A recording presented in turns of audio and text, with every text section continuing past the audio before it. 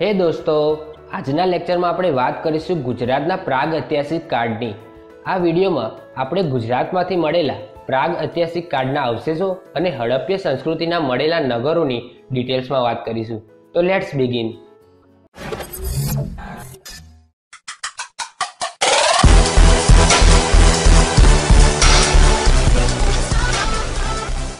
સૌપ્રથમ વાત કરીએ ડાયનોસોર યુગની તો હાલના મહીસાગર જિલ્લાના બાલાસિનોર તાલુકાના રૈયાલી ગામ પાસે ડાયનોસોરનું પ્રથમ ઈંડું મળી આવ્યું છે.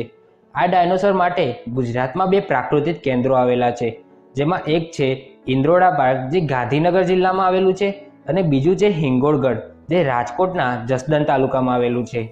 હવે વાત કરીએ ગુજરાતમાંથી મળી આવતી સિંધુ ખુંડની સભ્યતા, જેને આપણે હડપ્ય સંસ્કૃતિ પણ કહીએ છીએ તેના નગરોની. તો ચાલો આપણે ડિટેલ્સમાં વન બાય વન તેને સમજીએ. પ્રથમ નંબરે છે રંગપુર. રંગપુર નગર સુરેન્દ્રનગર જિલ્લાના ચુડા તાલુકામાં આવેલું છે.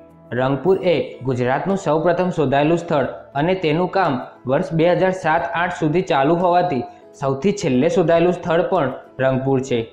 રંગપુર એ ભાદર નદીના કિનારે આવેલું છે.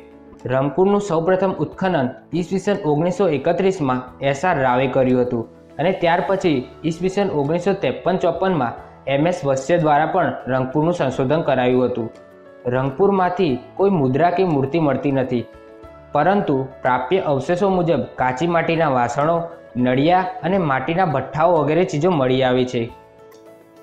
બીજા નંબરે વાત કરીએ લોથલની.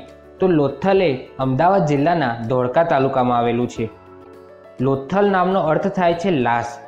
લોથલ અમદાવાદથી દક્ષિણ પશ્ચિમ ભાગે અંદાજિત એંસી કિલોમીટરના અંતરે આવેલું છે અને લોથલનો સમયગાળો ઈસવીસન પૂર્વે બે હજાર ચારસો પચાસથી ઓગણીસો સુધીનો માનવામાં આવે છે. લોથલમાં સૌપ્રથમ લોકોનો વસવાટ થયો હશે અને પછી પૂરના કારણે નગરોનો વિનાશ થયો હોય એવું મનાય છે. ઈસવીસન ઓગણીસો ચોપનમાં લોથલની શોધ કરવામાં આવી હતી, જેનું સંશોધન કરતા શ્રી એસ આર રાવનું મહત્વનું યોગદાન રહેલું છે. લોથલ એ ભોગાવો નદીના કિનારે આવેલું છે. પણ જો તેનું એક્ઝેક્ટ સ્થાન કહીએ, તો તે ભોગાવો અને સાબરમતી નદીની વચ્ચે આવેલું છે. ઈસવીસન અઢારસો ઓગણ્યાસીમાં પ્રસિદ્ધ થયેલી બાબત અનુસાર, લોથલ એક મહાબંદર હતું, જે હાલ દરિયાથી અઢાર કિલોમીટરના અંતરે આવેલું છે. પણ તે તેના સમયમાં દરિયાથી પાંચ કિલોમીટરના અંતરે આવેલું હતું. હવે વાત કરીએ લોથલમાંથી મળતી વસ્તુઓની, તો લોથલમાંથી હાડપિંજરો મળી આવે છે, જેના પરથી અનુમાન લગાવી શકાય કે ત્યાં અગ્નિ સંસ્કાર અને દફનાવા વિધિ એમ બંને અંતિમ ક્રિયાઓ પ્રચલિત હતી. લોથલનું નગર આયોજન બહુ સુંદર હતું, જેમાં રસ્તાઓ પહોળા અને સીધા કાટખૂણે મળતા હતા. મોટા મકાનો અને રસ્તાઓ પર ગટરો હતી અને લોથલના મકાનો ભઠ્ઠામાં પકવેલી ઈંટો દ્વારા બનાવવામાં આવ્યા હતા. લોથલમાંથી મુદ્રાઓ, શતરંજ જેવી રમત હાથીદાંતની પટ્ટી, વાસણો બનાવવા માટે માટી વગેરે ચીજો મળી આવી છે. હવે વાત કરીએ ધોળાવીરાની. ધોળાવીરા નગર કચ્છ જિલ્લાના ભચાઉ તાલુકામાંથી મળી આવી છે. ઈસવીસન ઓગણીસો સડસઠમાં ધોળાવીરામાં હડપ્ય સંસ્કૃતિના અવશેષો મળ્યા અને ઓગણીસો નેવુંથી તેનું વ્યવસ્થિત રીતે ખોદકામ શરૂ થયું. ધોળાવીરાનું સંશોધન કામ જગપતિ જોશી અને ત્યારબાદ આર એસ બિસ્ટે કર્યું. હડપ્ય સંસ્કૃતિના અન્ય નગરો બે ભાગમાં વહેંચાયેલા હતા, જ્યારે ધોળાવીરા ત્રણ ભાગમાં વહેંચાયેલું હતું. જેનો વિસ્તાર પૂર્વથી પશ્ચિમ સાતસો પંચોતેર મીટર અને ઉત્તરથી દક્ષિણ છસો મીટર હતો અને સ્થાનિક લોકો ધોળાવીરાને કોટડાના નામથી ઓળખે છે. ધોળાવીરામાંથી મળી આવતી ત્રણ ભાગોમાં સુરક્ષા સંબંધિત નજરે પડે છે, જેમાં સૌથી ઊંચા ભાગમાં કિલ્લાઓ અને મધ્ય ભાગ અને નીચા ભાગમાં નગરોનો વસવાટ હતો. ધોળાવીરા પણ હડપ્ય સંસ્કૃતિના અન્ય નગરોની જેમ સમાંતરભૂત ચતુષ્કોણ આકાર ધરાવે છે.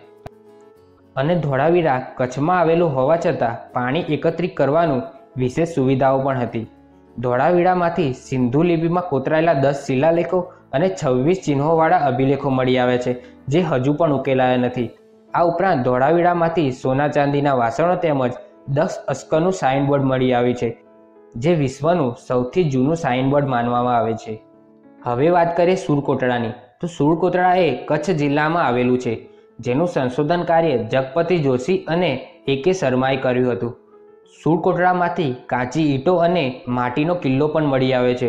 અને એક ઇમ્પોર્ટન્ટ ક્વેશ્ચન સુરકોટડામાંથી જુદા જુદા પ્રકારની કબરો અને ઘોડાના હાડકાં પણ મળી આવે છે. આ ઉપરાંત ગુજરાતમાં ઘણા નાના મોટા નગરો મળી આવે છે, જેમ કે રાજકોટમાં રોજડી અને કુટાંસની, મહેસાણામાં પલ્યળ કોટ અને પેઢામણી જામનગરમાં લાખાબાવળ અને કચ્છમાંથી શિકારપુર, સુરકોટડા અને દેસરપુર જેવા નગરો મળી આવે છે. અહીં ગુજરાતનો પ્રાગ ઐતિહાસિક કાળ પૂરો થાય છે. નેક્સ્ટ વિડીયોમાં આપણે વાત કરીશું ગુજરાતના ઇતિહાસના મૌર્યકાળની. જો તમને અમારા વીડિયો ગમતા હોય, તો વિડીયોને લાઈક કરો અને આવા જ વીડિયો જોવા માટે અમારી ચેનલને સબસ્ક્રાઈબ કરો. Thank you